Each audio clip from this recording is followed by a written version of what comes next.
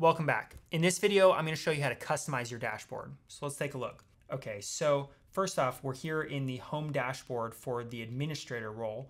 And take a notice that it's things are actually broken down by columns, right? There's one column here, there's a second very large column here in the middle, and there's actually a third column here on the right.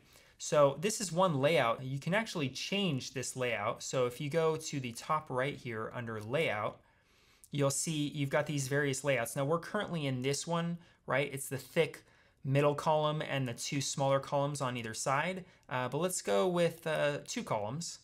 So now we have thin column here and a thicker column here. So if you find the three columns to be maybe a bit too kludgy, there's too many things there, you can always go with a different layout. So let's go back to the most common one, that's the three column layout.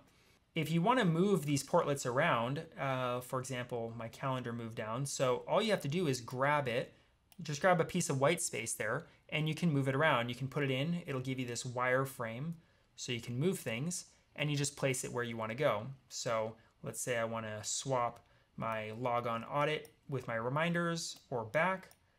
It's very simple. Now, if you want to remove a portlet, you can do that a few different ways. For example, uh, let's get rid of my login audit. Let's say I go, all right, I never use that portlet. I want to just get rid of it. You can literally just go remove and it will disappear. If you want to add a portlet, if you go up here on the top right and go to personalize, it'll come up with this little dashboard here.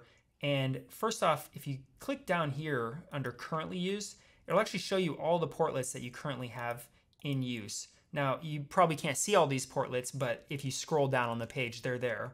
Uh, and this is another way that if you come across something, let's say subsidiary navigator, if you go, well, I never use that portlet, you can just hit that X there and it will remove that portlet. And if you want to add one, go to standard content and you'll have all these different options and you can kind of scroll through them and add as many as you want. Uh, so let's say I want to add a KPI meter. So I click that and now I've got a little KPI meter down here.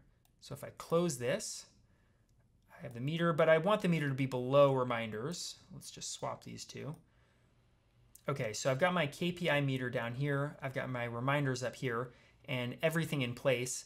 And as the last thing I'm going to show you, uh, just briefly, I'm not going to go into too much detail, but for any one of your portlets, you can also go to setup, which is right here, the three dots and setup and it will give you some various features. It depends on the portlet, but you're basically going to change some of the parameters or potentially what you view in that portlet.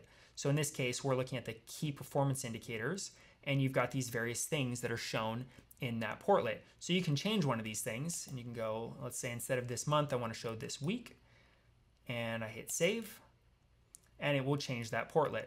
So again, I'm not going to go into too much detail on how you're setting up every single one of these portlets, but for now, just know that is how you would go about doing that. So that's it for customizing your dashboard. I'll see you in the next video.